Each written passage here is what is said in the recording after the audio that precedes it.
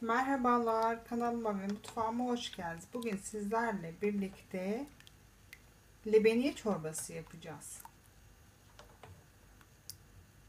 Tenceremizin içerisine 2 yemek kaşığı kadar pirincimizi, yıkanmış pirincimizi aldım. İçerisine buzlukta nohutum vardı benim haşlanmış.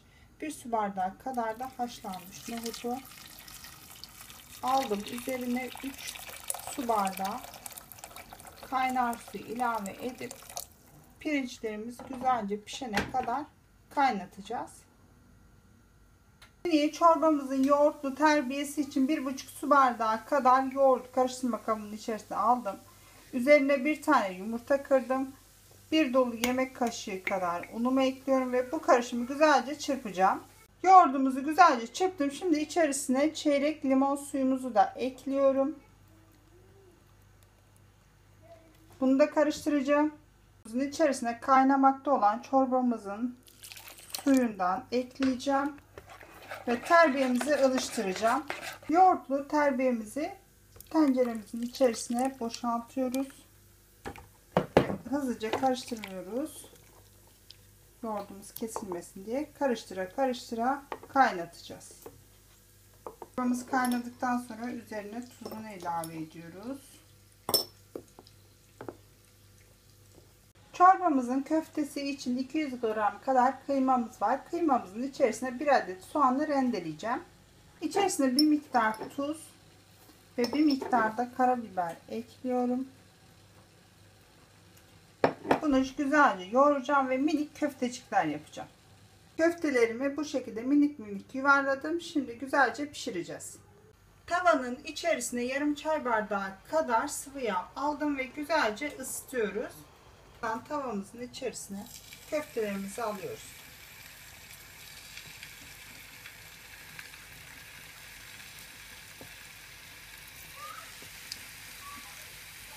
Bu şekilde sağa sola sallayarak köftelerimizin dağılmadan pişmesini sağlıyoruz. Köftelerimiz çok güzel bir şekilde kızardı. Kızaran köftelerimizin üzerine bir yemek kaşığı dolusu kuru nane ilave ediyoruz. Bu nanemizi de güzelce çorbamıza ilave edeceğiz köftelerimizle birlikte. Çok güzel kızartı köfteler mini mini.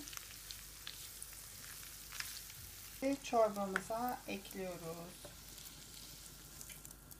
Oo, çok güzel bir görüntü ortaya çıktı. Hazır.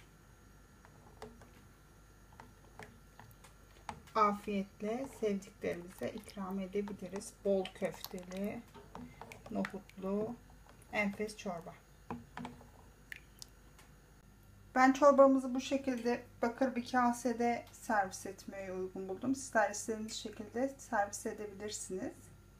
Size çorbamızın kıvamını da göstermek istiyorum. Köftelerimizi, unumuzu, pirincimizi, Hepsi de çok güzel oldu. Afiyetle yiyeceğiniz çok doyurucu bir çorba. Hem de hiç kesilme olmadı yoğurdunda. Sizler de bu çorbayı sevdiklerinizle paylaşabilirsiniz. Bu videomu beğendiyseniz lütfen beğen butonuna basmayı ve bana destek olmak isterseniz abone olmayı unutmayın. Hoşçakalın.